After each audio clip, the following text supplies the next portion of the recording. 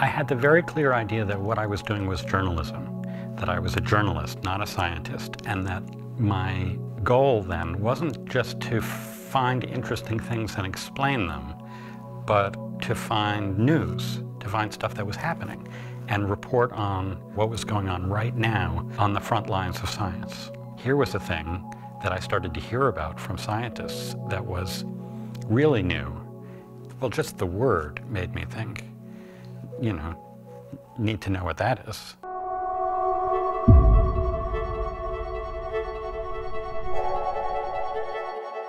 Once scientists were aware of chaos, then suddenly it was everywhere. It was starting in all these different fields. Benoit Mandelbrot, who was the father of fractal geometry. Mitchell Feigenbaum was a theoretical physicist, and Edward Lorenz was a meteorologist. Suddenly, here were scientists looking at questions that had to do with everyday life. If you wanted to describe the shapes that you see in nature, this stuff was really appropriate and useful. Nature is not an orderly thing. It's about fractals, about branching, twisting, things that curled on themselves like a snake eating its tail.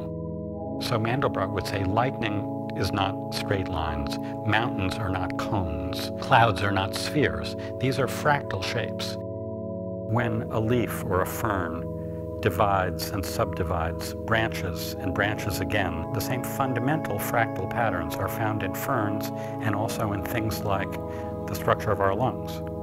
And he justified that by explaining the underlying mathematics. Mitchell Feigenbaum discovered a kind of universality that linked previously unrelated classes of equations, and it gave scientists a whole new tool with which to pry apart these different types of dynamical systems. It gave them confidence that they could study these systems and get real results.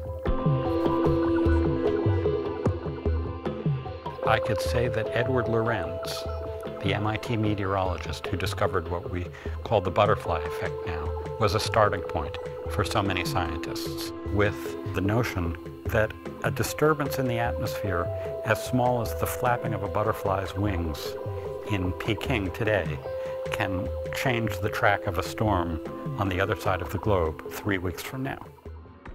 Chaos is a kind of science that deals with the parts of the world that are unpredictable, apparently random, not necessarily random, disorderly, erratic, irregular, unruly, misbehaved. The future of science is an appreciation of disorder. The things that people are going to be working on for a while are disorderly things. What's really happened is that chaos has become part of the mainstream. And the things scientists discover have the ability to change our lives in the most profound ways.